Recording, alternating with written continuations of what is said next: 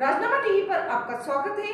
मैं प्रिया, आपके साथ। तमिलनाडु के मुख्यमंत्री एम के स्टालिन ने रविवार को राज्यपाल आर एन रवि को हटाने के लिए राष्ट्रपति द्रौपदी मुर्मू को लेटर लिखा है। उन्होंने कहा कि जब कोई गवर्नर राजनेता बन जाए तो उसे पद पर नहीं रहना चाहिए। सीएम ने आरोप लगाया कि राज्यपाल सांप्रदायिक नफरत को भड़काते हैं। वे तमिलनाडु की शांति के लिए खतरा है। दरअसल सीएम स्टालिन राज्यपाल से असंतुष्ट थे। उनका कहना है कि उन्होंने संविधान के आर्टिकल एक के तहत ली गई पद की शपथ का बार बार उल्लंघन किया है। विधानसभा में पारित बिलों को मंजूरी देने में देरी की है।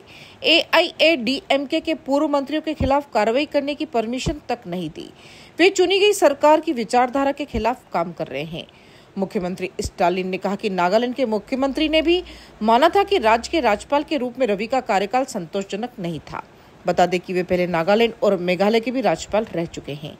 सीएम स्टालिन ने कहा कि मेरी सहमति के बिना मंत्री सेंथिल बालाजी को बर्खास्त किया था। ये संविधान के नियमों का उल्लंघन है।